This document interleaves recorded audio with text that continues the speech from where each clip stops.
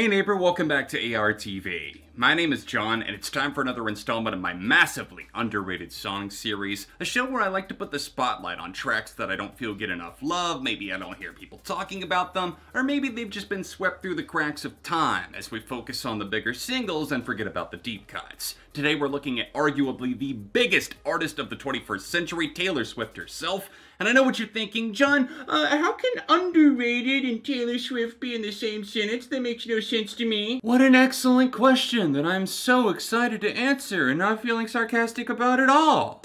With an artist as insanely popular as Taylor, I think she's even more susceptible to having those songs fade out of people's memories. So what am I trying to do today? Put seven of those back on your radar. Listen, my main point with making this video was to kind of bridge the gap between the Swiftie and the casual fan. Hopefully we can meet somewhere in the middle. If you enjoy the content, then please drop a like on it. If you want to see a part two, let me know in the comments down below. And also maybe check out some of the other Taylor content on my channel.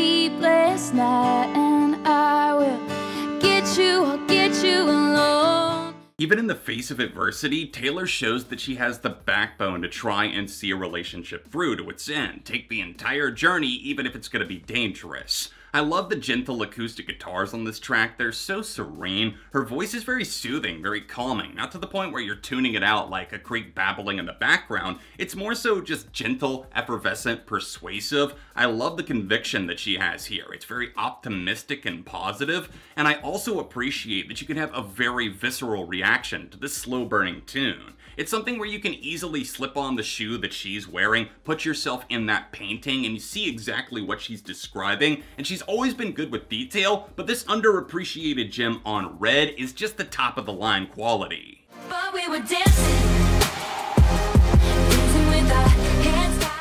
At number 6, I put one of the best songs from a very confusing, off-balanced album Reputation. This is Dancing with Our Hands Tied. I love the electronic production. It has these steady, shimmering synths during the verses, and then we get that bigger drop that almost has an EDM quality about it. This is a great metaphor for feeling trapped within a relationship, and before this song, I hadn't actually heard it put to tape like this. I really appreciate that we get this metaphor of, oh, we're dancing with our hands tied. We're in this relationship where we're getting things really messy. It's knotted up, and we're just making things worse by kind of dancing around the problems, but we're almost pretending that there's not a problem to begin with.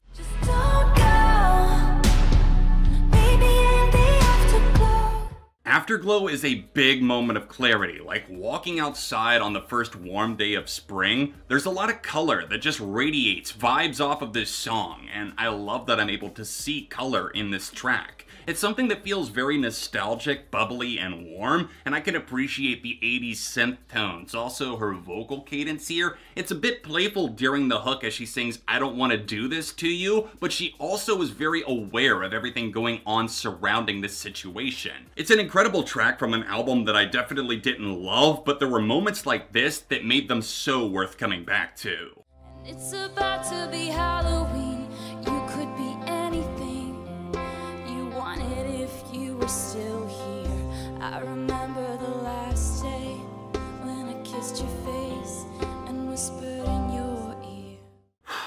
have the tissues ready for number four because this is Ronan, a charity single that was released during the Red album cycle leading up to it actually, but it was not on the album. I think it tends to slip through the cracks of a lot of people's minds because maybe they think it was on the album, it's not actually there when they go back to listen to it, and as a result, it's one of Taylor's least listened to songs ever. Now, that might not be saying much as big as Taylor is, but I think this track is extremely important. It's a charity single, and it was written for a young boy, Ronan, of that name. This is a boy that lost his battle with childhood cancer in 2011. The song released in 2012, and it was done in collaboration with his mother Maya, who had written a lot of blog posts, and that's primarily what Taylor pulled from as inspiration.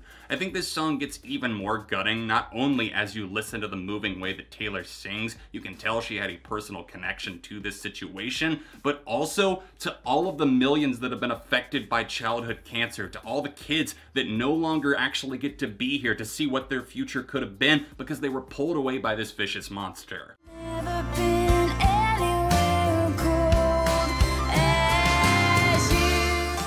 Number three, we have Cold as You, a song that Taylor only ever performed one singular time. Not even while she was promoting the self titled album that this is lifted from, but it was actually at a stop on the Red Tour and it was a reworked version, so I guess that counts. This is Taylor at her most melodramatic, and it could be easy to chalk this up as teenage emotions just getting the best of her, but for me, this is the perfect double edged sword. I love the melodrama, but I also just kind of keep throwing myself back onto that sword because I can see past the cheese. I know this song has a lot of twang, not everyone's gonna be a fan of her early country sound, but occasionally I do miss that, and this is one of the best ones that you can go back to.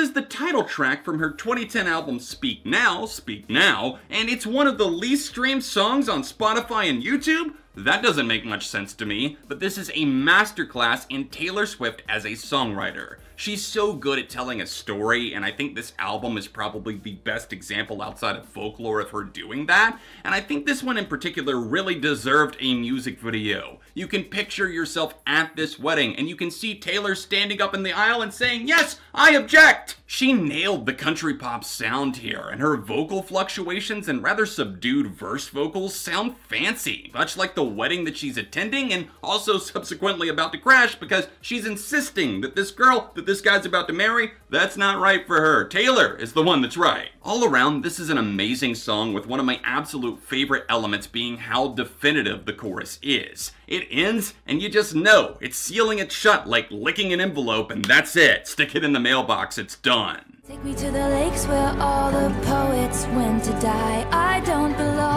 I could riot that this wasn't included on all versions of the albums and it's just listed as a bonus track, or I could praise the music gods that this song exists in the first place. Oh my god, not too many songs make me full on tear up or just straight up cry every single time I listen to it, but this has like a 99% efficiency rate in that department, and that is saying something. It's not that it's that sad of a song, it's actually quite happy if you think about it. It's about escaping with your lover, taking that time away, knowing that this other bullshit, it doesn't matter. I love the expansive vocabulary that she uses here. I feel like I got a bit smarter listening to it, especially when she uses some of those phrases and plays on words like, What are my words worth? A reference to the poet Henry Wadsworth Longfellow. There's a lot of lines that I love here, like the one about watching wisteria grow over her feet because she hasn't moved in years. She is actually content and she's relaying that in song form, and the way that she does it is just explosive. It ignites something in me, and it's one of the best songs, one of the best choruses that she has ever written. Thanks so much for watching and liking my list of some of the most underrated Taylor Swift songs ever. Do you agree or disagree with some of my picks? Let me know in the comments section down below. If you want to see a part two, then make sure to let me know that in the comments too. Subscribe for the love of music. You can catch more of my Taylor Swift videos here, and outside of that, I'll be back soon for more right here on ARTV.